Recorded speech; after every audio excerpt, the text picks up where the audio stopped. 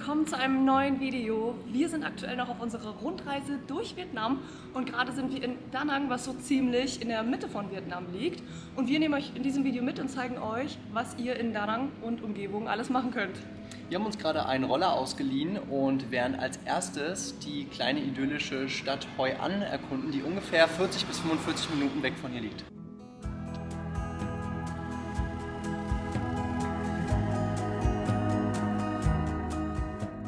Der erste Stop von unserem Hoi An Day Trip ist das Coconut Boat Basket Village.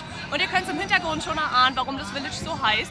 Wegen den Booten, die erinnern ganz stark an Kokosnussschalen. Und hier werden Bootstouren angeboten, die über den Fluss führen. Und wir haben online gesehen, dass es auch sogenannte Spinning Boats gibt. Also manche drehen sich dann mit dir da drin. Wir hoffen, dass wir sowas auch sehen und vielleicht auch mitmachen. Ist dann schon mal nichts für mich. Das darf Lukas dann gerne machen. Mir wird da nämlich schlecht. Aber wir freuen uns da hinten. Wird eingestiegen in die Boote und da gehen wir jetzt mal hin.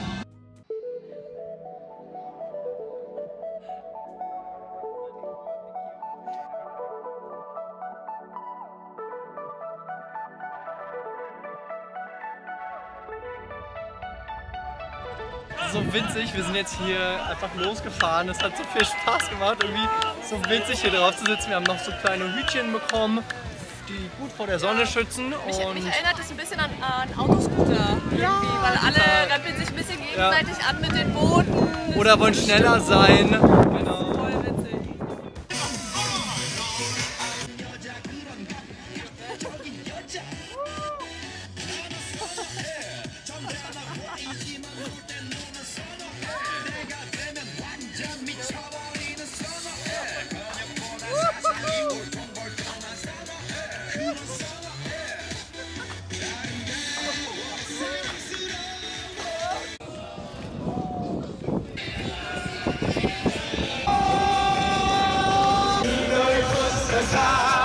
Was geht denn hier ab? Wir dachten, es wird eine ruhige, besinnliche Fahrt, aber ganz und gar nichts. Party angesagt, alle haben irgendwie gute Stimmung. Es wird Karaoke auf dem Wasser gemacht und gerade sind wir an diesen drehenden Kokosnüssen hier quasi vorbeigekommen.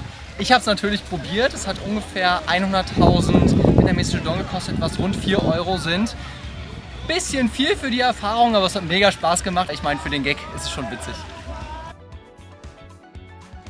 Das war super witzig und auch kurzweilig, also 30 bis 40 Minuten könnt ihr hierfür ungefähr einplanen. Und für 8, 9 Euro, die es jetzt gekostet hat, würden wir sagen, eine coole Aktivität, die man hier auf jeden Fall mitnehmen und machen kann. So wie es war, hätten wir es gar nicht erwartet. Es war für uns eine Mischung aus Festival, Ballermann und Autoscooter, weil die Boote Ja. sich gegenseitig immer gerammt haben. Es war super witzig. Ihr könnt sogar Karaoke machen auf so einem kleinen Mini-Boot, wenn, Ja. ihr, wenn ihr das wollt. Ihr könnt euch drehen lassen, so wie Lukas es gemacht hat.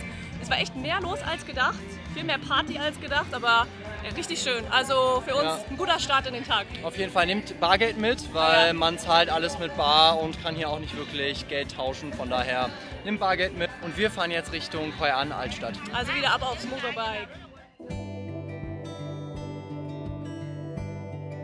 Sind jetzt in Hoi An in der Altstadt angekommen und sind super überwältigt. Es ist so schön, kleine schnucklige Cafés, süße Läden, Restaurants. Und wir haben uns jetzt erstmal in ein hübsches Café gesetzt, trinken einen kleinen Coconut Coffee, kleiner Tipp für Veganer. Sagt einfach, ihr wollt ohne Kondensmilch, dann geht das auch. In den meisten Fällen jedenfalls.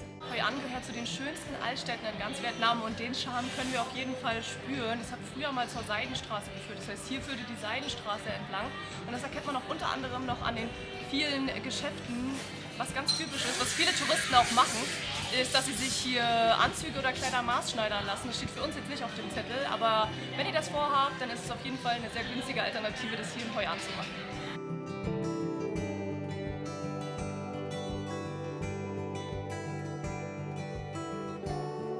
sind jetzt hier so ein bisschen durch die Straßen gelaufen und es sind wirklich süße Gassen, viele Läden, viele Cafés und Restaurants, gefällt uns richtig gut. Dann waren wir jetzt gerade auf dem Weg zur japanischen Brücke. Also Japanese Covered Bridge heißt die. Genau. Und wir kommen an und denken, hä, wo ist sie denn, wo ist sie denn? Naja, sie ist gerade natürlich under constructions, also es wird gebaut. Man sieht es hier hinter uns so ein bisschen, also es ist komplett in so einem Ja, ja in so einem Gerüst eingehüllt, man Genau. sieht es eigentlich gar nicht. Ja, schade, aber wir laufen einfach mal ein bisschen weiter und gucken uns den Rest der Altstadt an.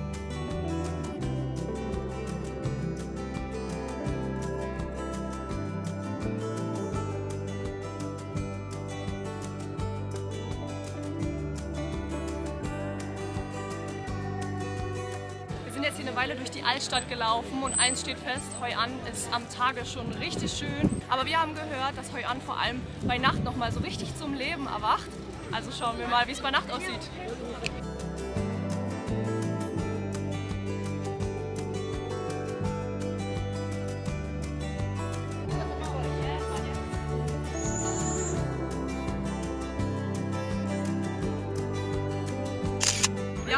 Auch zwei solcher Laternen hier geholt und werden die gleich ins Wasser lassen. Im Prinzip funktionieren die wie ein Geburtstagskuchen, ohne das Auspusten. Ihr dürft euch was wünschen, dann die Laterne ins Wasser gleiten lassen und euer Wunsch geht in Erfüllung.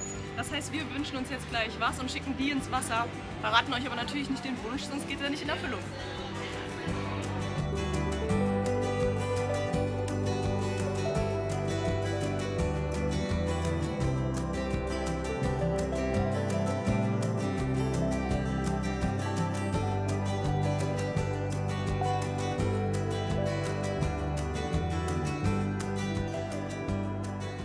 Lassen unseren Tag jetzt ausklingen in der Chickpea Eatery. Sehr, sehr schönes Restaurant, ein bisschen abseits vom Schuss.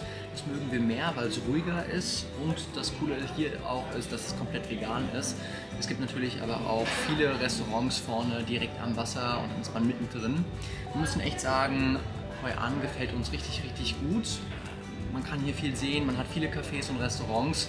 Jedoch würden wir auch sagen, ein Tagesausflug, so wie wir ihn gemacht haben, reicht vollkommen aus, um sich einen guten Überblick zu machen und die Stadt zu erkunden. Guten Morgen! Nachdem wir gestern den Ausflug nach Hoi An gemacht haben, erkunden wir heute Danang. Wir starten mit einem Ausflug zur Statue von Lady Buddha. Das ist eine Statue, die erhöht auf einem Berg steht, von der man auch einen total schönen Ausblick über die Stadt haben soll. Auch die Anlage soll sehr schön sein und da geht es für uns als erstes heute hin.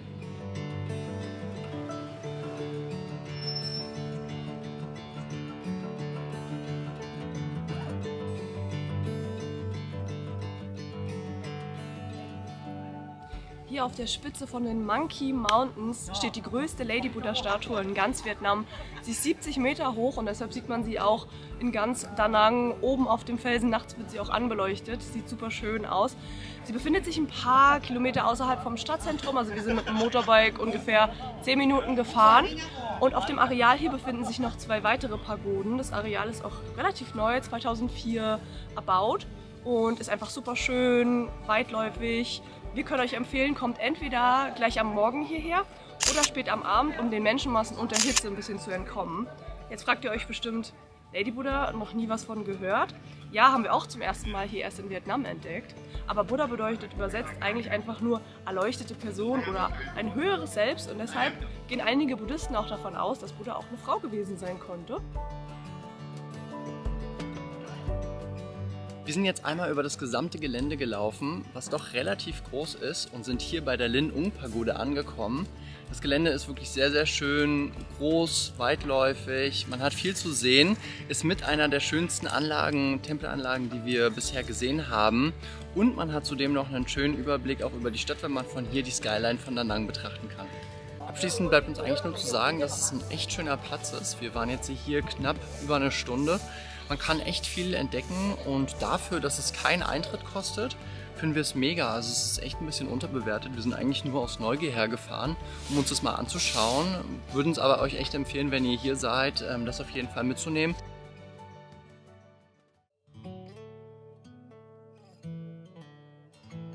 Bei uns ist jetzt Lunchzeit und wir sind jetzt hier wieder bei der Chickpea Eatery. Ihr werdet sich bemerkt haben, gestern waren wir auch in einer Chickpea Eatery. Das war aber die in Hoi An. Jetzt sind wir ja hier in Da Nang und hier, das ist sozusagen die Mother's Kitchen, wo alles seinen Ursprung gefunden hat. Und da dachten wir, okay, da kommen wir auch auf jeden Fall vorbei. Und als wir gestern in Hoi An mit der ähm, Besitzerin gequatscht haben, hat sie uns hier was dagelassen. Sie ist gerade nämlich nicht da, weil sie einen Kochkurs hat. Und äh, sie hat uns versorgt mit veganen Restauranttipps für die anderen Städte, wo wir noch hingehen, also Dalat und Ho Chi Minh. Das hat sie so süß verpackt, das muss ich hier wie so eine geheime Botschaft erstmal auspacken. Und wow, das sieht aus wie eine ganz lange Liste tatsächlich. Das ist alles. Das werden wir uns jetzt, während wir auf unser Essen warten, einmal äh, anschauen und abspeichern bei Google Maps. Auf jeden Fall richtig, richtig lieb. Unterstützt die Familie, das ist alles ein Familienbetrieb und wie ihr seht, wir sitzen hier quasi in der Küche von der Mutter der Besitzerin. Ähm, hinter uns, es sieht aus, wie als ob wir im Wohnzimmer sitzen. Da ist die Küche, wo wir zugucken können, wie Mama direkt für uns kocht und das ist einfach eine super Stimmung.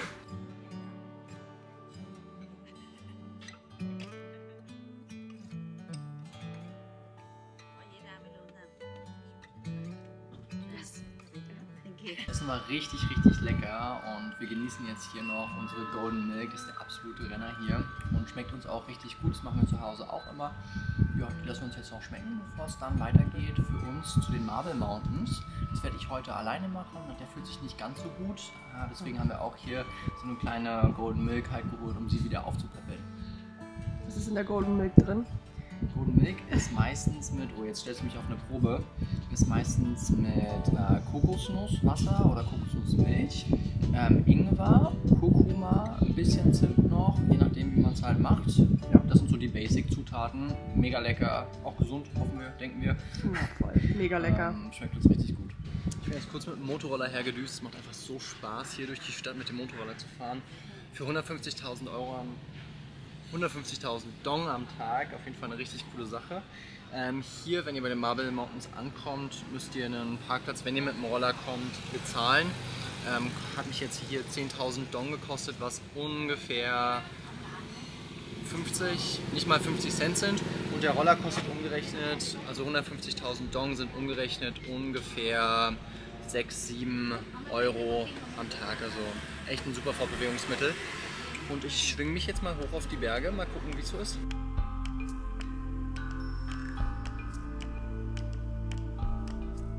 Bin jetzt in den Marble Mountains drin und es wirkt wie so eine Art sie gerade erstmal schön auf meine Kamera getropft.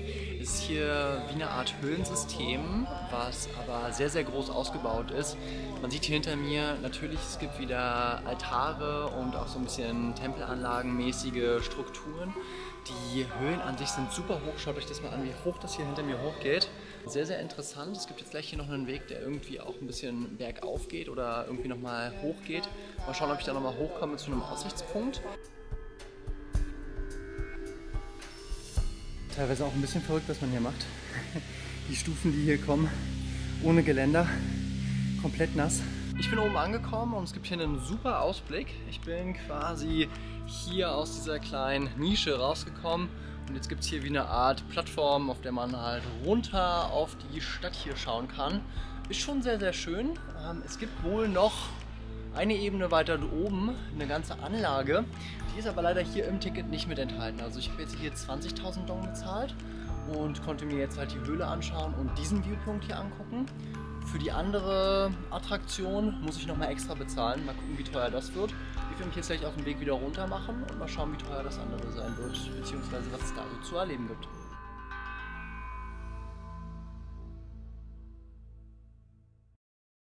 Ich habe es geschafft und bin wieder unten. Hier hinter mir seht ihr nochmal den Eingang. Runter war es schon etwas ähm, glitschig und glatt, aber doch machbar.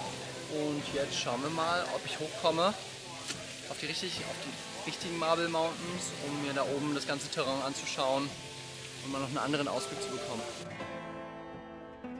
Ich habe mich entschieden zu laufen. Kostet 40.000 Dong. Wenn ihr mit dem Fahrstuhl fahren wollt, sind es 55.000 Dong. 55.000 Dong sind ungefähr 2 Euro, 40.000 1,80 ungefähr. Es soll nur 5 Minuten zu Fuß hochgehen. Ich habe mich trotzdem dafür entschieden, auch wenn ich nach der Tropfsteinhöhle jetzt schon ganz schön schwitze. Aber wir wollen ja sportlich bleiben, von daher.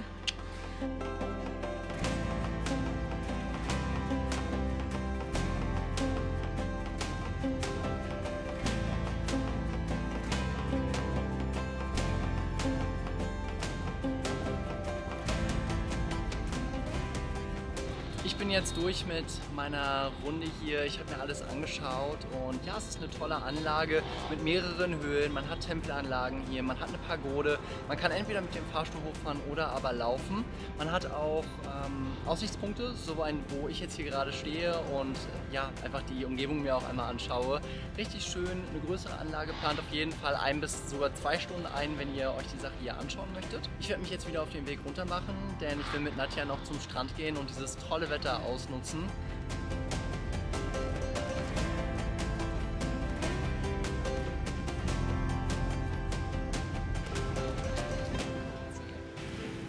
Wir sind wieder zu zweit unterwegs und jetzt auf dem Weg zum Strand. Es gibt hier einen Strand, der ist relativ nah an unserer Unterkunft und zwar der Mike Beach. Das ist ein richtig schöner großer Strand mit einer großen Strandpromenade. Es gibt viele Restaurants und Cafés. Oh, warte mal, hier kommt ein Bus. Und das Beste ist, der Strand ist nur zwei Minuten zu Fuß von unserer Unterkunft weg. Also wir waren so gut wie jeden Tag am Strand und man erwartet es gar nicht. Bei so einer doch recht großen äh, City, dass es da so einen tollen Strand gibt. Der ist super sauber, super gepflegt. Und ja, wie jeden Tag gehen wir jetzt da auch hin.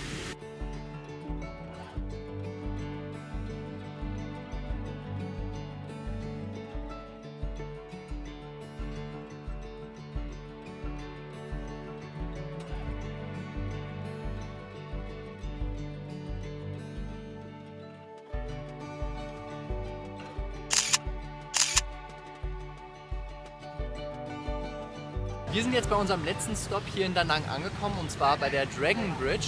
Die ist vor allen Dingen am Abend total schön anzuschauen. Vor allem am Wochenende, also am Samstag und Sonntag, gibt es eine spektakuläre Show hier auf der Brücke. Da speit der Drache Feuer und spuckt sogar Wasser. Das heißt, wir warten jetzt noch ein paar Stunden, bevor die Show beginnt.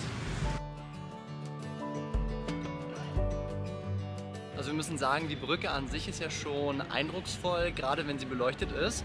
Für Romantikfans hier gibt es noch wie eine Art Liebesbrücke mit diesen schön rot beleuchteten Herzen, die die ganze Brücke zieren. Richtig cool, wenn man hier einfach mal einen Abend entspannen möchte, ein bisschen spazieren möchte, kommt auf jeden Fall her. Ihr könnt nicht nur die Brücke bewundern, ihr habt sogar noch diese Liebesbrücke hier und ihr könnt die Skyline von Da Nang auch noch sehen.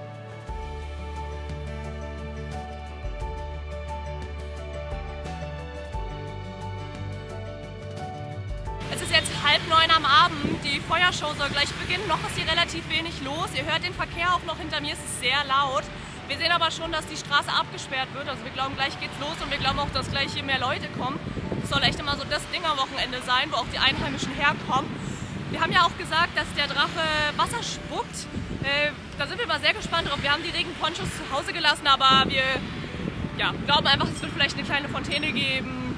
Mal schauen, wir glauben nicht, dass es jetzt irgendwie einen großen Regenschauer oder sowas gibt. Aber wir sind gespannt, halbe Stunde noch. Wir sichern uns hier schon mal die besten Plätze, mal gucken, ob sich das dann lohnt.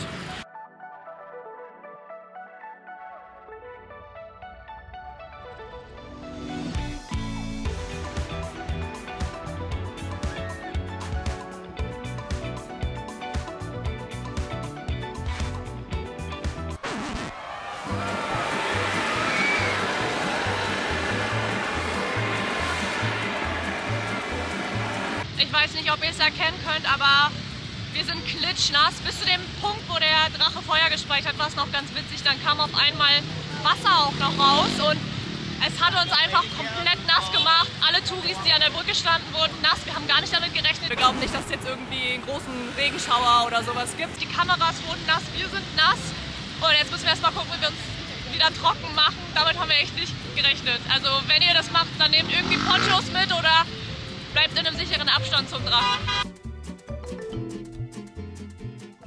Es ist unser letzter Morgen hier in Da Nang. Wir haben gerade unsere Sachen gepackt und sind fast auf dem Weg zum Flughafen.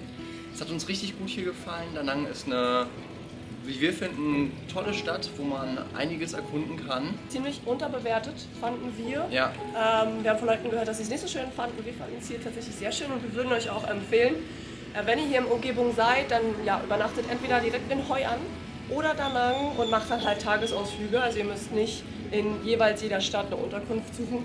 Finden wir, bei unserer Recherche haben wir festgestellt, dass in Da Nang die Unterkünfte größer und günstiger sind, aber schaut ihr einfach nochmal nach. ja, Da Nang war auf jeden Fall eine Stadt, wo wir uns richtig gut gefühlt haben und auch gesagt haben, das ist eine Stadt zum Leben. Wir werden, denke ich mal, auch einen ähm, Blogbeitrag hier nochmal über unsere Erfahrungen schreiben. Checkt das auf jeden Fall hier ab. Und wenn euch das Video gefallen hat, lasst gerne einen Like da, abonniert den Kanal.